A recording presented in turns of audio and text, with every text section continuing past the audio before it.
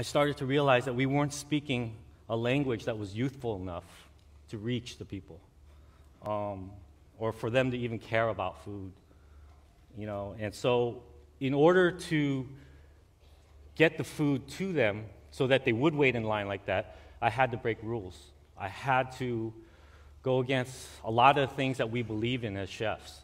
Um, and that's mixing technique with processed food, mixing emulsions with canned meats, mixing junk food with intense purees of organic vegetables, um, and like, and mixing those things together, making it young, like streetwear, you know.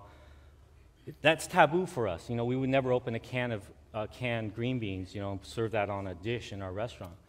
But see, like for me, the information was I had to do that because it's like when you get out of surgery, right? You can't just go straight into a meal. You have to kind of ease your way back into it. Well, you had communities and people that had this hunger that they couldn't just dip into the food that we were cooking as chefs. So I had to create some sort of a bridge.